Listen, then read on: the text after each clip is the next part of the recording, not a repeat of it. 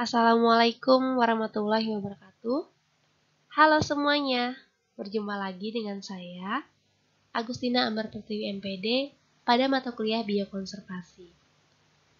Alhamdulillah, hari ini kita memasuki pertemuan kedua dengan topik yang akan kita kaji adalah biokonservasi. Sebelumnya silakan untuk berdoa dulu, agar apa yang akan kita pelajari hari ini dapat dipahami dengan baik dan bermanfaat di kemudian hari. Jangan lupa untuk mengisi daftar hadir pada link yang telah tersedia di deskripsi grup WhatsApp. Tujuan pembelajaran kita hari ini ada tiga. Yang pertama, setelah selesai mengikuti perkuliahan hari ini, kalian diharapkan mampu memahami prinsip-prinsip etika biologi konservasi. Yang kedua, memahami bagaimana konservasi alam dalam sudut pandang Islam. Dan yang ketiga, memahami bagaimana perilaku etika lingkungan. Apa itu biokonservasi?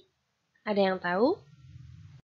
Biokonservasi berasal dari dua kata, yaitu biologi dan konservasi. Biologi sendiri merupakan sebuah ilmu yang mengkaji tentang kehidupan, tentang organisme hidup, termasuk manusia, hewan, dan tumbuhan. Sedangkan konservasi sendiri merupakan pelestarian atau perlindungan. Biokonservasi didefinisikan sebagai ilmu lintas disiplin terpadu yang dikembangkan untuk menghadapi berbagai tantangan demi melindungi spesies dan ekosistem. Atau biokonservasi juga dapat didefinisikan sebagai ilmu yang mempelajari tentang pelestarian lingkungan beserta isinya demi keberlanjutan ekosistem. Mengapa biokonservasi diperlukan? Seperti yang pernah kita diskusikan sebelumnya, semua spesies hidup saling bergantung satu sama lain. Semua spesies saling berinteraksi, baik dengan cara yang sederhana maupun dengan cara yang kompleks. Hilangnya satu spesies dalam sebuah ekosistem memiliki konsekuensi bagi anggota ekosistem lainnya atau bagi spesies lainnya. Akibatnya, spesies lain bisa musnah ataupun komunitasnya menjadi tidak stabil karena rantai makanannya ada yang terputus.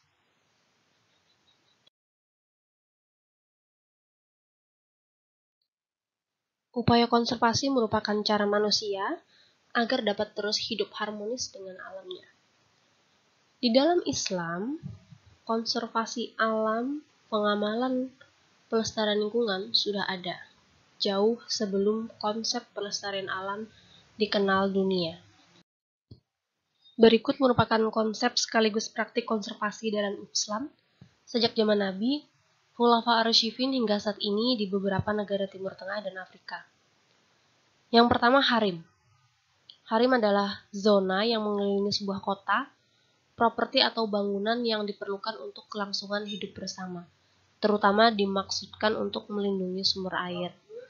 Kemudian yang kedua, ihya al-mawat, yaitu tindakan menghidupkan lahan yang mati, terlantar, dan tidak produktif menjadi lahan yang memberikan manfaat lebih banyak. Di tempat kita banyak ya, lahan yang terlantar di pinggir-pinggir jalan. Semestinya lahan-lahan itu bisa dimanfaatkan, bisa diolah, agar lebih bermanfaat tidak dibiarkan terlantar seperti itu. Kemudian yang ketiga ada hak al-irtifak. Ini adalah hak menegaskan batas-batas properti dan akses serta pemanfaatan jasanya. Kemudian ada al-turuk al-ama wa hakuha. Ini adalah hak-hak terhadap jalan umum. Ini juga kurang bagus juga di tempat kita karena sekarang sudah banyak rumah-rumah warga yang memakan jalan umum. Kemudian yang kelima, al-marafiq waman al-darar. Ini mencegah kerusakan atas bangunan dan fasilitas orang lain yang bersebelahan. Silahkan kalian lihat bagaimana yang terjadi di sekitar kalian, apakah masih sesuai dengan al-marafiq waman al-darar atau tidak. Kemudian yang terakhir, al-daman wa al-mas'uliyah inda idat al-darar kewajiban dan tanggung jawab atas kerusakan yang ditimbulkan. Ini sering terjadi di tempat kita. Pihak-pihak pengelola pertambangan, pengelola perkebunan yang lalai. Mereka tidak melakukan kewajiban seperti upaya reklamasi, reboisasi. Intinya mereka tidak bertanggung jawab atas kerusakan yang telah ditemukan. Berarti sudah tidak sesuai dengan konsep dan praktek konservasi menurut Islam.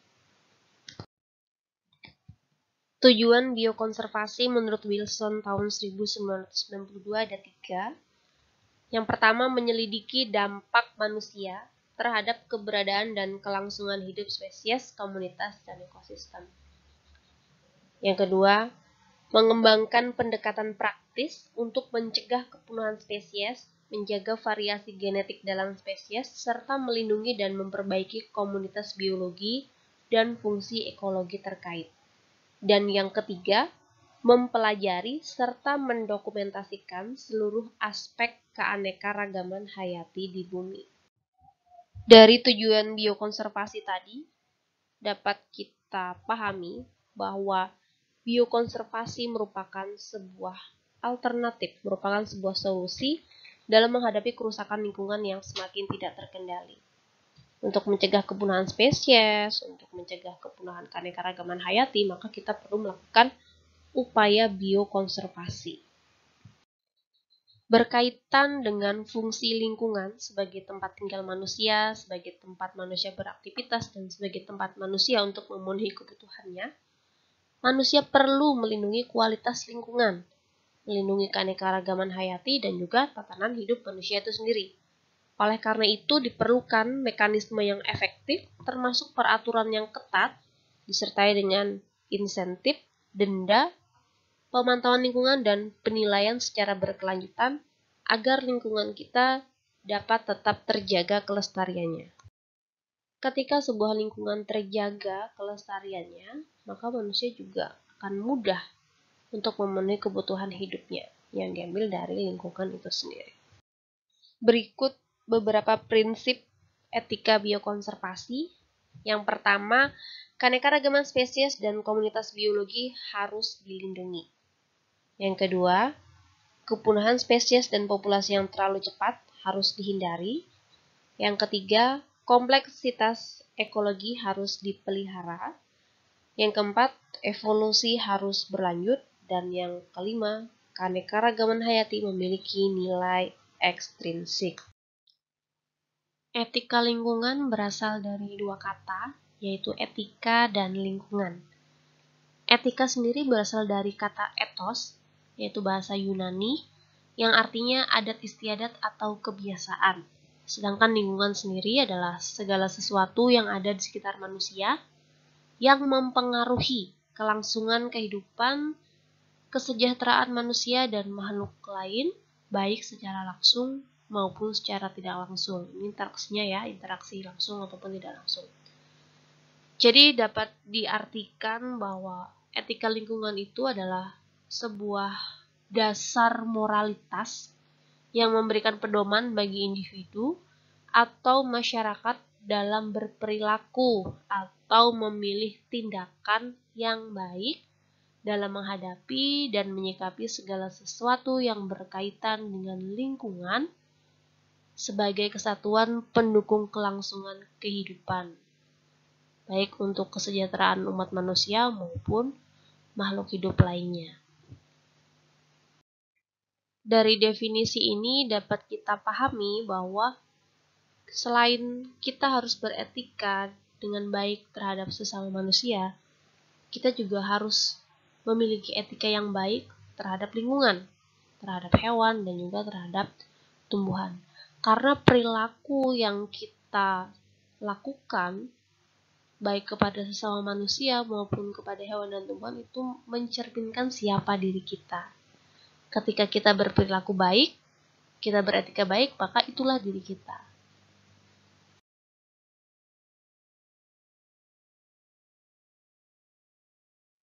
Etika lingkungan yang baik akan menjadikan kita berperilaku baik juga terhadap lingkungan.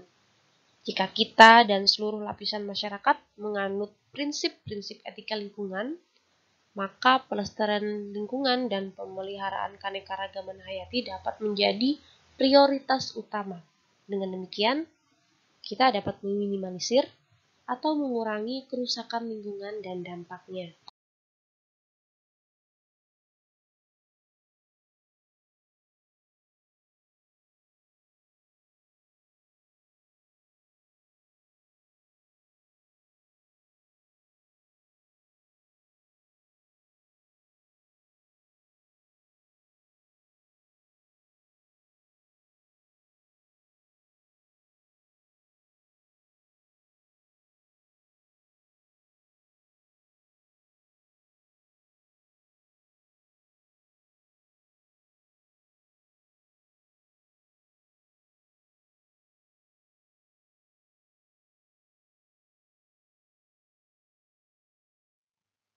Indrawan DKK tahun 2004 menyatakan bahwa ada tujuh prinsip etika lingkungan yang hendaknya dimiliki oleh masyarakat dan diterapkan dalam kehidupan sehari-hari agar lingkungan kita tetap terjaga kelestariannya. Tujuh prinsip itu yang pertama, setiap spesies memiliki hak untuk hidup.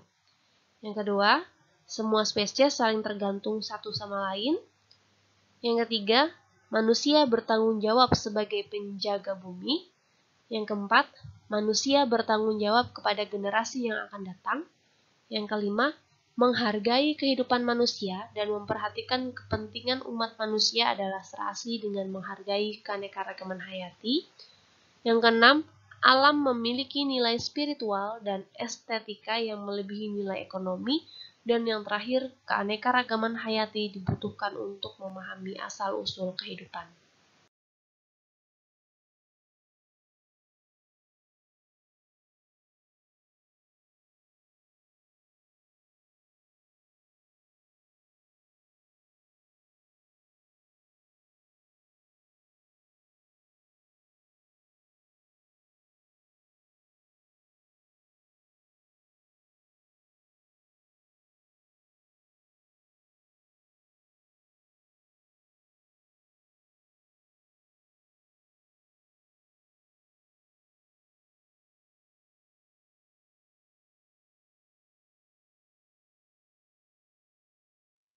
Prinsip etika lingkungan yang pertama adalah setiap spesies memiliki hak untuk hidup.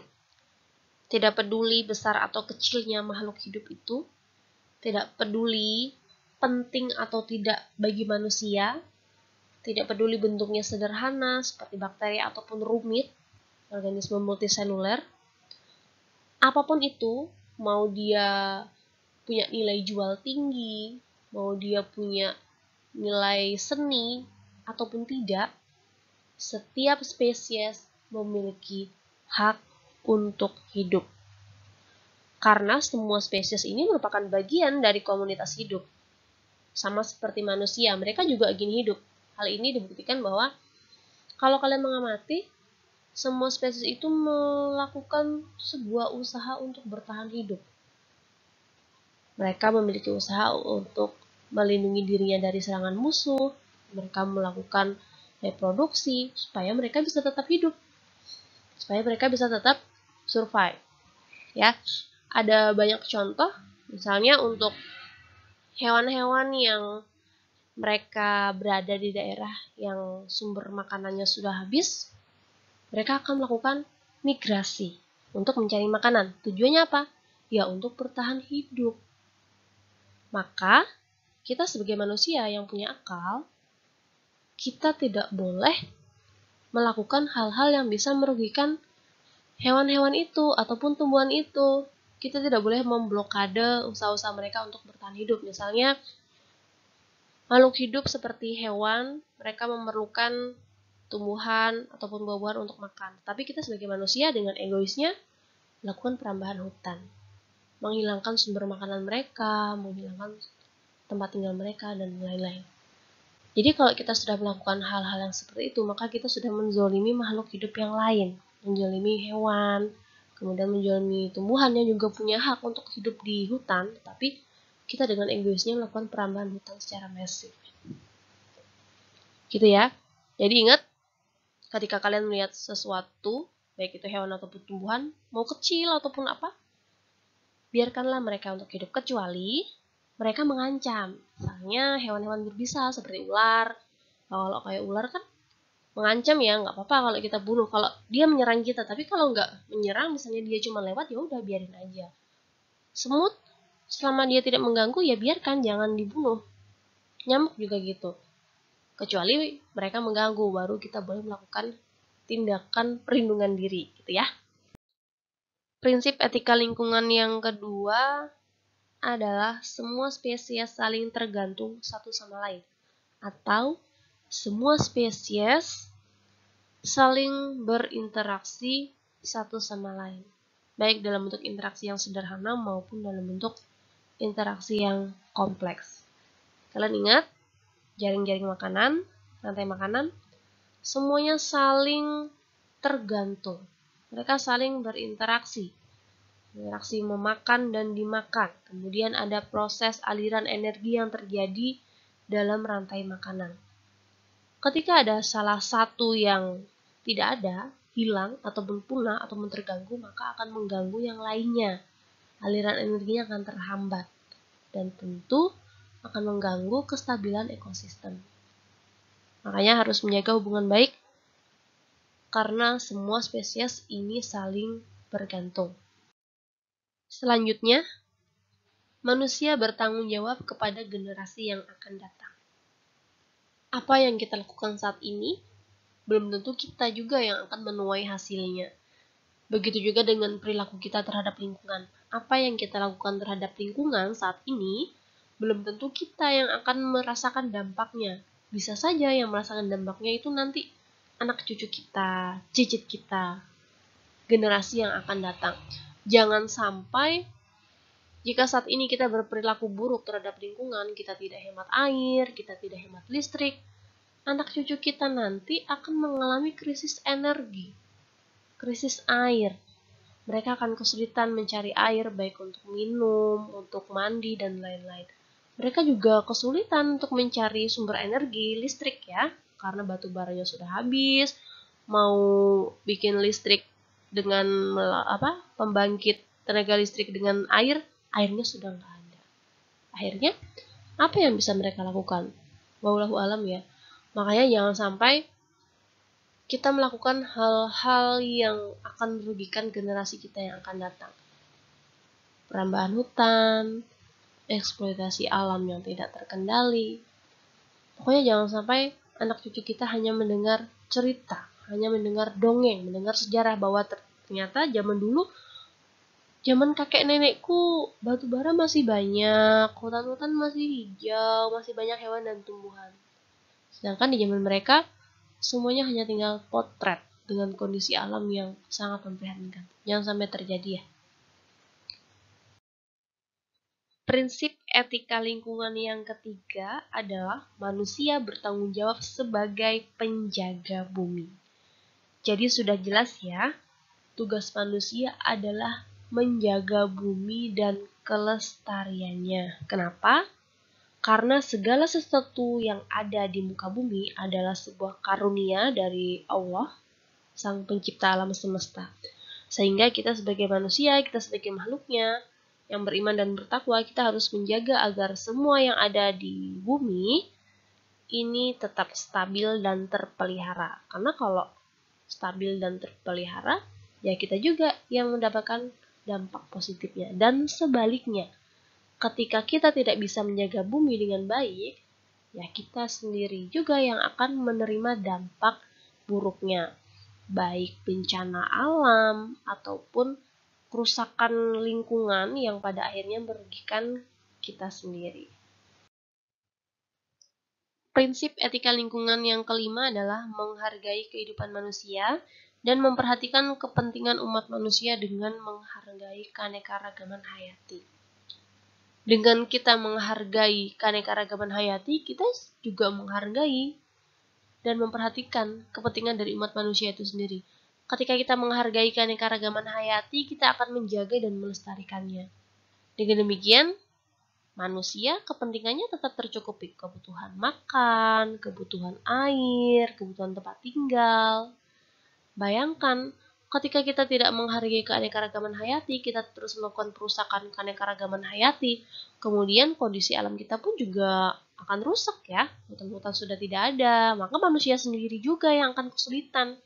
Kesulitan mencari kayu untuk membuat bahan bangunan, untuk bikin rumah, bikin mebel, kemudian manusia juga sulit untuk mendapatkan sumber makanan, manusia juga sulit untuk mendapatkan sumber air dan lain-lainnya.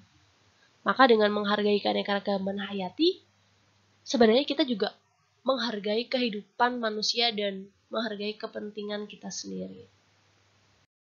Selanjutnya, alam memiliki nilai spiritual dan estetika yang melebihi nilai ekonomi. Tidak melulu berbicara tentang ekonomi ya. Alam ini memiliki nilai yang luar biasa, memiliki manfaat yang luar biasa dan kita pun bisa menikmatinya dengan luar biasa. Ketika kita sedang dilanda penat, stres, kemudian kita pergi ke alam bebas, kita ke hutan, lalu kita menghirup segarnya udara pegunungan, udara hutan, maka pikiran kita bisa rileks. Kemudian untuk perkembangan anak-anak juga bagus ketika anak-anak kita bawa ke hutan, tentunya dengan pengawasan orang tua ya. Anak-anak bisa bermain, mereka bisa belajar dengan mengeksplor apa yang ada di situ. Misalnya belajar ini hewan apa ya, ini teman apa ya. Nah kalau sudah seperti itu, anaknya seneng, orang tuanya juga seneng. Bisa sekalian refreshing gitu. Kemudian alam ini juga bisa menjadikan seseorang menemukan inspirasi. Karena bawaan alam itu tenang ya, tenang, segar. Jadi orang bisa melepaskan stres dan orang bisa fokus berkonsentrasi untuk menemukan sebuah inspirasi. Luar biasa. Tidak melulu berbicara tentang ekonomi, ini laku berapa kayunya, ini nanti bisa diolah apa, tetapi alam memiliki nilai yang lebih dari itu. Maka sudah seyogyanya kita menjaga kelestarian alam. Alam memiliki nilai spiritual yang dapat menjadikan kita merasa kecil di hadapannya. Ketika kita jalan-jalan ke hutan, ketika kita mendaki gunung, maka kita akan merasa apa sih kita dibandingkan dengan hamparan hutan yang luas dan gunung yang tinggi. Kemudian ketika kita jalan-jalan ke pantai, kita akan merasa apalah kita dibandingkan dengan hamparan lautan yang luas dengan pasir di sepanjang pesisirnya. Kemudian ketika kita melihat bintang-bintang, melihat bulan, kita bisa berpikir, apa sih kita dibandingkan dengan alam semesta dan jagat raya. Kita nggak ada apa-apanya. Satu ujung jari pun kita tidak ada. Jadi jangan sombong ya jadi manusia. Karena kita bukan apa-apa dibandingkan dengan ciptaan Tuhan yang sangat luar biasa. Dengan kita mengamati ciptaannya, dengan kita berinteraksi dengan alam, dan kita juga menghargai alam, jaga alam, maka kita meningkatkan keimanan dan ketakwaan kita kepada Sang Pencipta. Silsilah keluarga Di dalam satu dinasti, satu keturunan, misal sudah sampai tujuh keturunan, tidak semua anggota dari keturunan itu memahami bagaimana silsilah atau urutan kekerabatan yang ada di dinasti mereka. Misalnya dinasti apa? Dinasti Paku Bumi ya misalnya dinasti Paku Bumi. Ini berarti buyutnya atau kakeknya namanya Paku Bumi. Tidak semua cicitnya, tidak semua cucunya mengetahui ini sepupunya siapa, ini kakaknya siapa. Nah, untuk menanggulangi masalah itu ya harus dibuat pohon silsilah keluarga. Ketika mereka membuat pohon silsilah keluarga, tentunya mereka harus menemui orang-orang yang paham urutan-urutannya nih gimana. Ini siapanya ini, ini siapanya itu. Ketika orang yang dianggap paham, dianggap mengerti tentang silsilah itu meninggal, ya sudah, hilang. Mereka tidak tahu lagi. Mereka asalnya dari siapa, kenapa jadi dibilang keluarga sama si ini, kenapa jadi dibilang bersepupu dengan si itu. Semuanya bingung. Jadi begitu pula dengan keanekaragaman hayati di muka bumi ini.